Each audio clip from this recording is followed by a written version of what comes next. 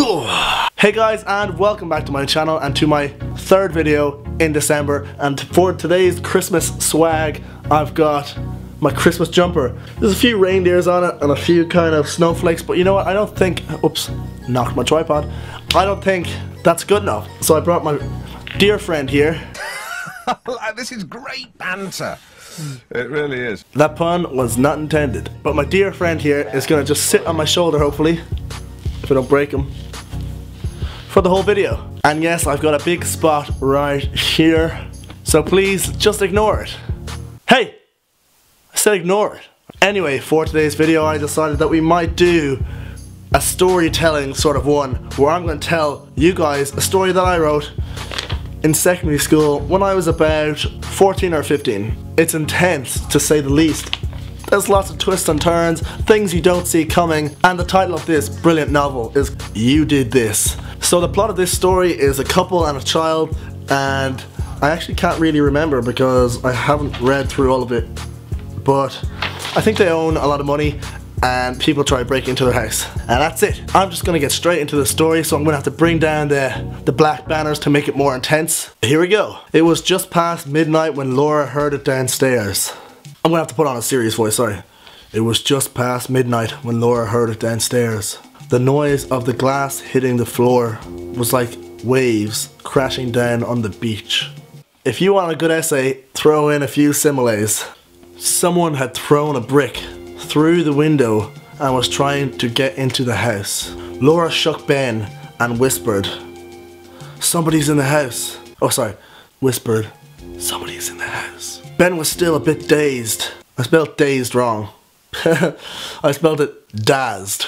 Ben was still a bit dazed by the sudden awakening and the sound of the howling alarm.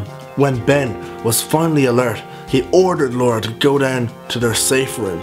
That means they've got money. If they've got their safe room, I'm pretty sure when I um when I was writing this, I was basing it off panic room or safe room. So yeah, you're probably gonna see a lot of similarities between that movie and this story. Laura immediately ran down the hall. This is annoying me. It keeps slipping off. I'm sorry, I'm not wearing it for the whole movie. Movie?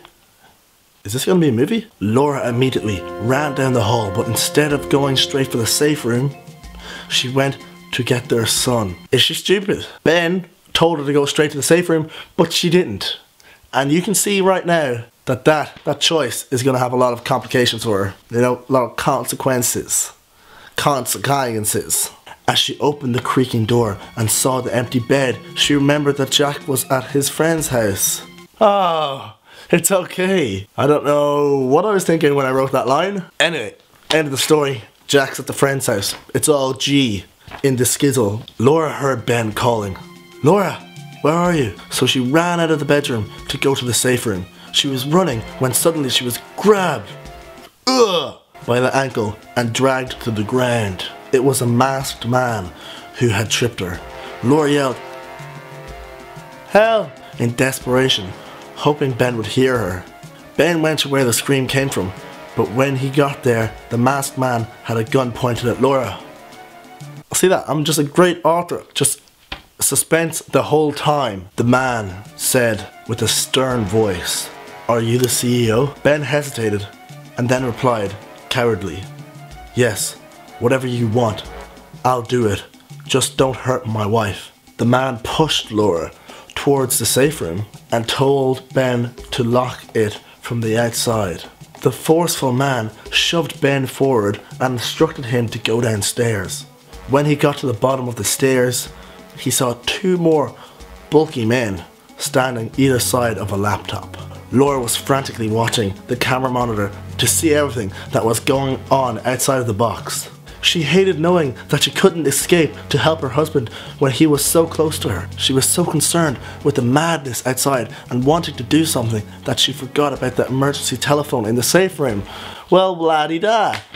What an idiot. She desperately searched through the supply box trying to find it. She plugged it into the phone socket in the wall and immediately dialed 999 on the keypad. An automated voice came on the phone which said, Sorry, you cannot make this call as you have no phone signal.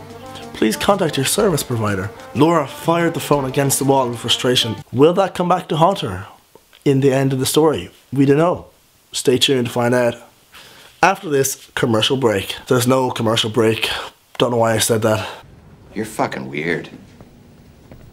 She dropped to the floor, feeling helpless, as she noticed light shining off an object beyond the door in the safe room. She scurried over to the gap under the door and peeped through to discover that Ben had dropped a key to the door so she could escape. Genius! Laura went to the supply box to find something so she could reach the key. She got the firm wire from the antenna on the phone and made the top into a hook to grab the key. She's like a Bear Grylls person making stuff out of stuff.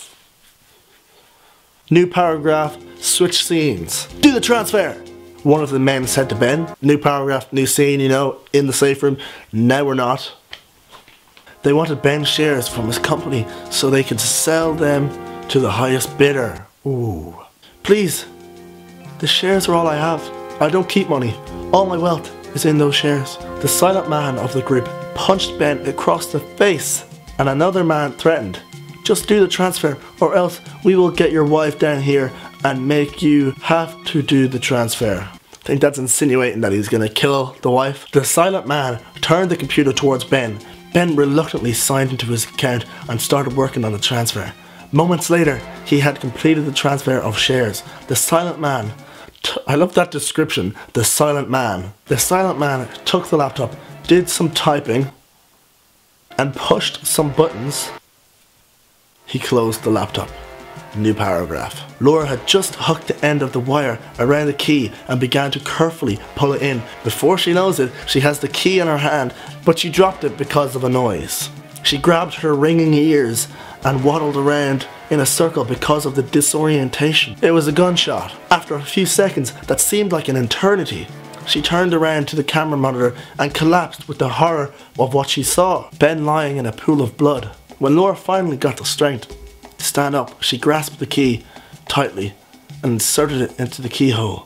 She stumbled out of the room and got down the stairs. She fell to her knees in front of Ben and wrapped her arms around him, hugging him so tight like she could squeeze the life back into him.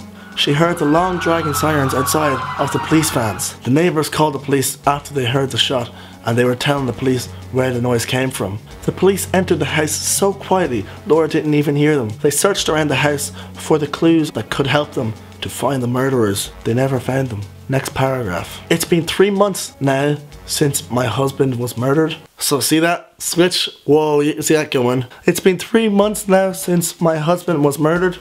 Days seem like weeks in this dark, miserable world. The police never did manage to find where the shares went, so we lost the house, our car, and all of the money. Jack and I are living in a cold, damp, and mouldy apartment a few blocks down from our old house. Every time I close my eyes, I can never read the rest of the story, so I'm gonna have to open them. Every time I close my eyes, I can see him, Ben, looking at me as if to say, Why didn't you do something? I could have stopped it if I was a bit quicker. I could have saved him. I can't stop these thoughts in my head.